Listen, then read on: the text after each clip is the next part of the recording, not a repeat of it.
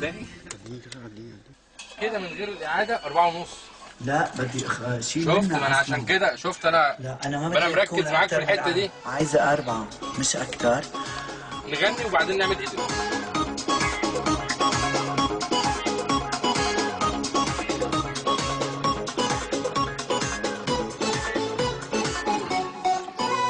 والسلام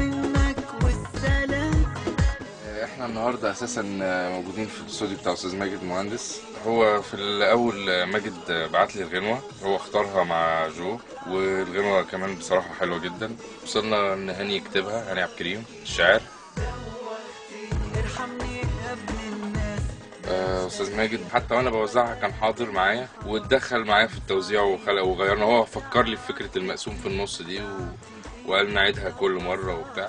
كان مشرف على الغنوة أكنها غنوة بصراحة ليه يعني. وبعتنا خدنا إيقاعات في تركيا وسجلنا. يعني عملنا شغل كويس جدا بصراحة. هنوتة نفسي آه.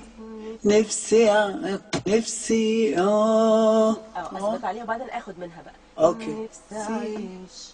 نفسي اعيش وعايز أقول إن جو مجتهد. دي بقى حاجة أنا اكتشفتها إن هو بيركز في تفاصيل التوزيع وتفاصيل الغنى وحتى غلطاته بي... بيقعد وبيصر إنه يعمل الحاجة الصعبة. عمري بجنان.